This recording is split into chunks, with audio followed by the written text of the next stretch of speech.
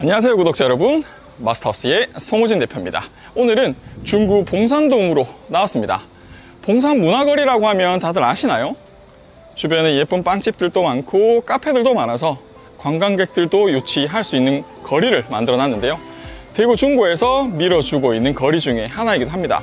그 중간에는 봉산 문화회관이 자리를 잡고 있죠. 객석도 굉장히 많아서 소극장이라기보다는 중극장이라 표현해야 되는 게 맞는데요 많은 공연들도 유치를 하고 있으니 혹시나 봉산 문화거리를 모르셨던 고객분들이 계셨다면 한 번쯤 나오셔서 이 거리의 젊음을 만끽해 보시는 것도 좋을 것 같습니다. 저는 현재 약 8m 통과 도로를 걸어가고 있고요. 이 도로로 조금만 이동을 하게 되면 제가 오늘 소개할 건축물이 보입니다. 자, 오늘 제가 소개할 건축물 앞으로 도착을 했습니다. 보시는 것처럼 지상 4층으로 건축이 되어 있고요. 1층부터 4층까지 내부 계단을 이용하여 복층 형태로 사용이 가능한 꼬마 빌딩 건물입니다. 하필이면 오늘 앞쪽에 정화 청소를 하고 계시네요. 여러분들 그거 아시죠?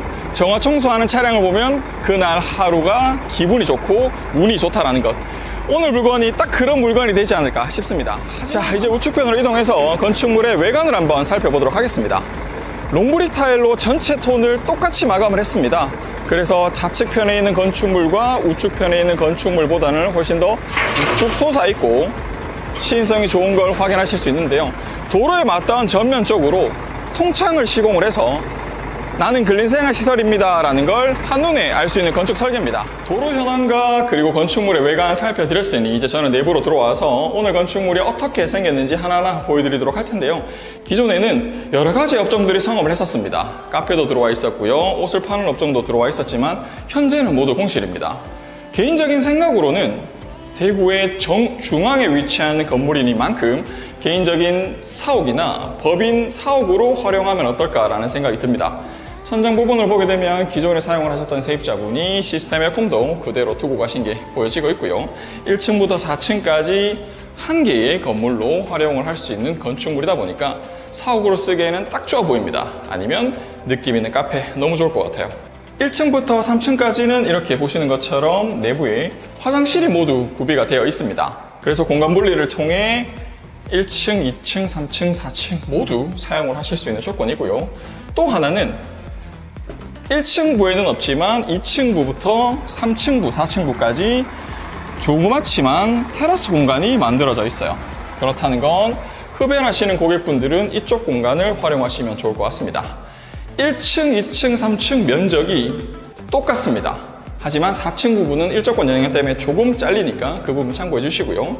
2층 부에도 보시는 것처럼 이렇게 화장실이 구비가 되어 있죠.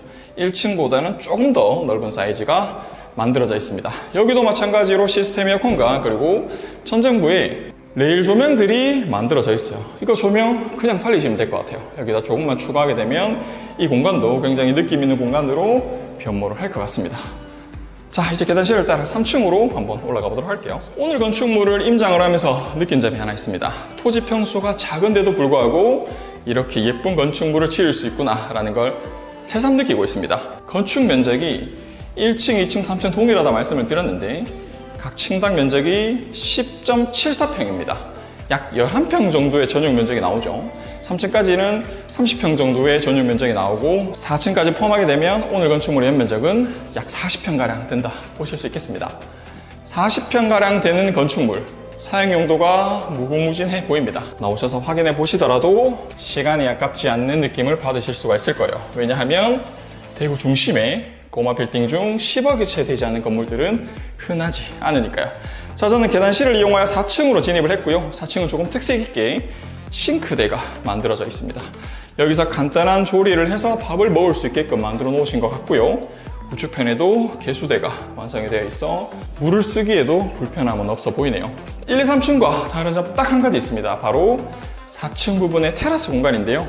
바닥 부분에는 데크가 시공이 되어 있고 4층 부분에서만 단독으로 사용 가능한 테라스이기 때문에 만약 카페를 운영하신다면 만약 사옥을 운영하신다면 이쪽 부분에 테이블 가져다 놓고 미팅 장소 또는 고객분들을 유치할 수 있는 장소로 사용을 하시면 되겠습니다. 자, 이렇게 해서 오늘 봉산동에 위치하고 있는 꼬마 빌딩을 소개해 드렸습니다.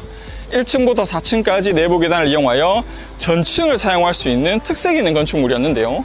지리적인 요건은 반월당역 9번 출구까지 약 5분이면 도달할 수 있는 역세권이기 때문에 찾아오기도 굉장히 편하고요.